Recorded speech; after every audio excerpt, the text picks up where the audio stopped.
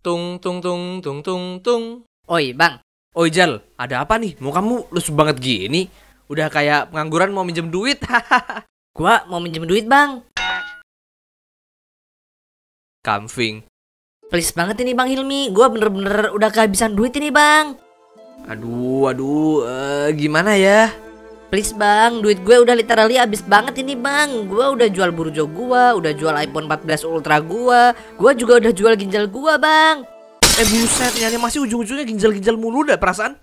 Eh cius bang, gue udah literally kehabisan duit Which is gue juga udah kagak makan tiga hari penuh bang Aduh Allahu Akbar, kok sudah dingene toh Jal? Iya bang, gara-gara main slot ini bang Allahu Akbar, Jal, Jal. Piye tuh kowe ki? Kok bisa-bisanya sampai duit mulu des semua gitu? Padahal kan aku udah sering ngomong di episode-episode animasi sebelumnya Kalau judi-judian itu tuh bener-bener cuma bakal nguntungin bandarnya aja.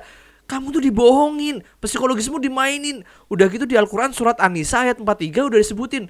Hai orang-orang beriman, sesungguhnya khamar, judi, berkorban untuk berhala, mengundi nasib dengan panah adalah perbuatan keji termasuk perbuatan setan.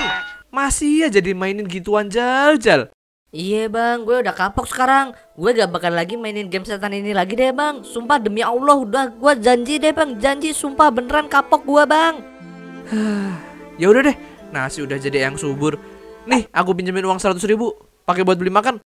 Alhamdulillah. Terima kasih bang Hilmi. Terima kasih ya Allah. Setelah tiga hari gak makan akhirnya gue bisa depo lagi.